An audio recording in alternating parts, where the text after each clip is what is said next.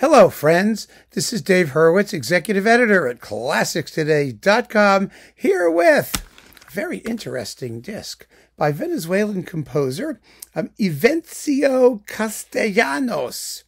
He lived from, let's say, 1915 to 1984, so he had a reasonably a reasonably decent life, and he wrote some really lovely music in the romantic nationalist vein.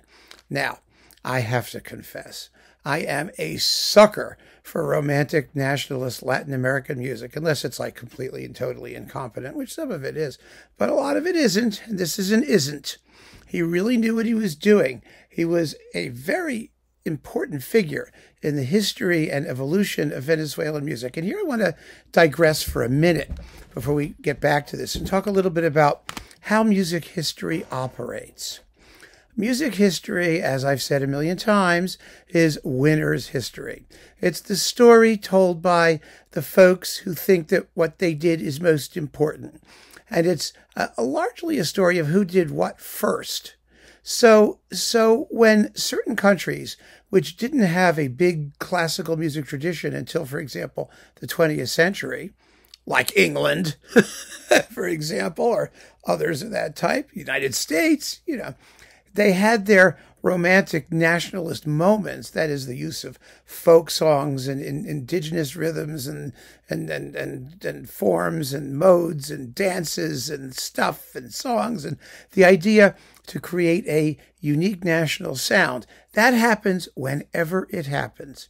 If you look at normal music history, you know, the way she's taught in the public schools, you know, then what happens is you have you have the Baroque period, the classical period, the Romantic period. And in the Romantic period, which was a time of nation building and, and you know, internationalist fervor in Europe only, and only in a part of Europe, in Western Europe, pretty specifically Western Europe, and, and the empires, the Austro-Hungarian Empire and whatnot, and Russia, you know, and whatnot. But, but if you look at if you look at what history tells us, then that folk romantic nationalist thing happened in the middle to late 19th century, mostly.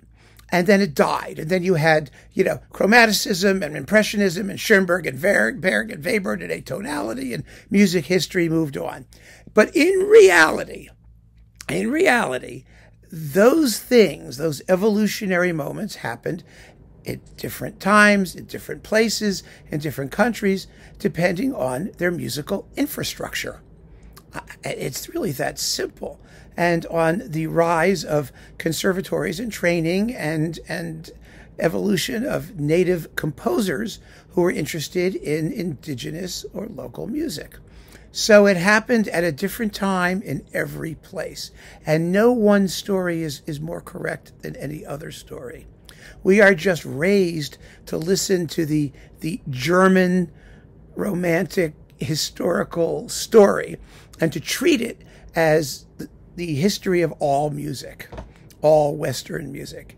And nothing could be further from the truth. Nothing could be more incorrect or more wrong. So, Latin America um, was colonialized by Western Europe, and it it took its culture, as the United States did, from European norms and European formal examples, and the colonizers, who became the the aristocratic class in most of those countries, um, founded symphony orchestras and a certain musical cultural infrastructure, as I mentioned before about infrastructure.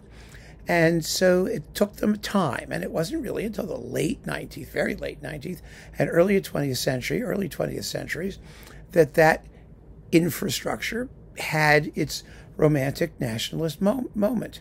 Curiously, many of these countries had their Baroque moments because that's when, you know, the conquistadors first showed up. And remember, there was a whole thing about, you know, Baroque music composed by Mexican composers and Latin American composers. It was very interesting. It really was for the missions and the churches and the liturgical, the liturgical world. That was also another aspect of this this process. But the the ability to write romantic nationalist symphonic music required a tradition of symphonic performance, which meant symphony orchestras, which meant conservatories, which meant trained musicians who could run around and do all of this stuff.